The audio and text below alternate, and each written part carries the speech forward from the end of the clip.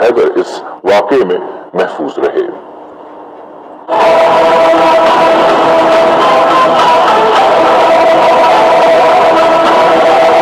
تعصب اور پاکستان دشمنی میں پاگل بھارت پاگل پن کی آخری حدوں کو چھونے لگا۔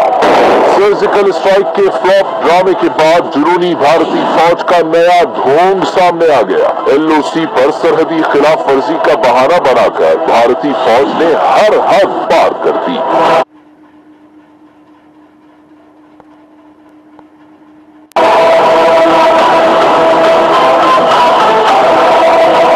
وزیر اعظم آزاد کشمیر کے سول ہیلی کاپٹر پر بھارتی پوسٹ سے پاکستانی حدود میں فائرنگ ہیلی کاپٹر کو بحفاظت ضلع حویلی میں اتار دیا گیا۔ فائرنگ کے واقعے میں وزیر اعظم آزاد کشمیر محفوظ رہے۔ راجہ فاروق حیدر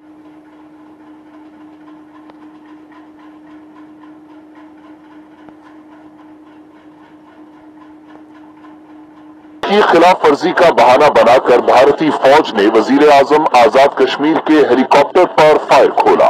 بھارتی میڈیا نے ٹی وی سکرینز پر پروپیگنڈا کا محاذ کھول دیا۔ اپنی فوج کی حرکت پر شرم کے بجائے ڈھٹائی پر اتر آئے اور چور مچائے شور کی عملی مثال بن کر خبروں کو جھوٹ کا مسالہ لگا کر رام کہانی سنانی شروع کر دی۔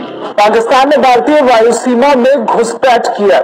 آج دوپہر بارہ بج کر تیرہ منٹ پر جموں کے پنچ سیکٹر میں پاکستان کا ایک ملٹری ہیلی کاپٹر گزایا ایک بھارتی چینل نے مسافر ہیلی کاپٹر کو فوج کے زیر استعمال قرار دے کر الف لیلا کی کہانی سنائی تو دوسرا چینل ایک قدم اور آگے گیا اور روٹین کی پرواز کو جاسوسی سے جوڑ کر واویلا مچایا بالکل ایسے ہی جیسے پاکستانی کبوتر کے بھارت داخل ہونے پر جاسوسی کا طوفان کھڑا کیا گیا تھا Pakistan has violated the Indian airspace. Now this doesn't look like a mistake, it is clearly misadventure. Let me tell you, Pakistan is very very rattled since yesterday. بھارتی میڈیا کا میٹر اس قدر گھوما کہ ہیلی کاپٹر کرشنا گھاٹی کے قریب سات سو میٹر تک اندر آنے کا دعویٰ کرتا رہا